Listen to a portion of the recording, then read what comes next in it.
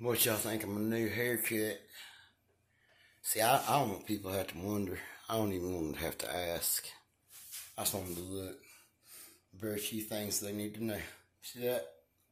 They just look. They know. You come around here with your bullshit, boy, you gonna give me liberty or you gonna give me death. More you know you. You goddamn right I fucked your sister and your mom at the same time. I made them like it too.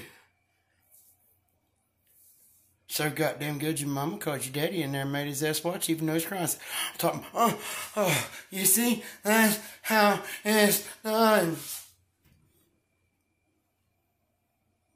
Ain't got not talking about. See that? Her daughter's been getting it better than me. Four busted in there crying. Yep. Yeah.